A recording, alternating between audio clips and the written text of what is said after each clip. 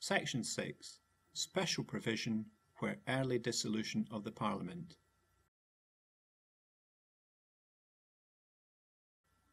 This section introduces Schedule 1, which makes special provision for the early dissolution of the Parliament and creates exceptions to the normal cycle of production of national plans, authority plans, and performance reviews in such circumstances.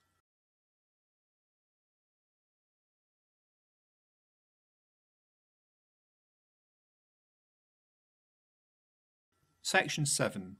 Alteration of date of publication of plan or review in exceptional circumstances.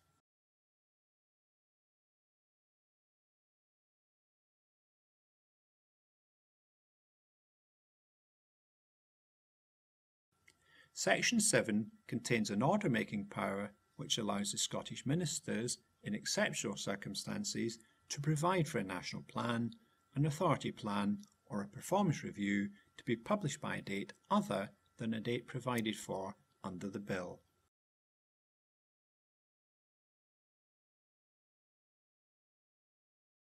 This is separate from that provided for under Schedule 1 and is intended to allow for circumstances other than early dissolution that might require an alteration to the dates by which national plans, authority plans and performance reviews must be produced.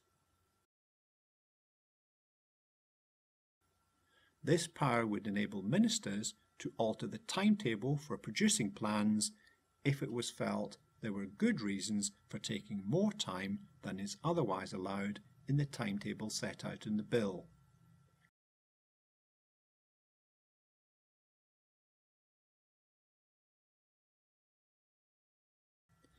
Ministers might use the power if, for example, there were significant policy developments that would impact on the content of the plans, and it was considered beneficial to wait until they had been completed.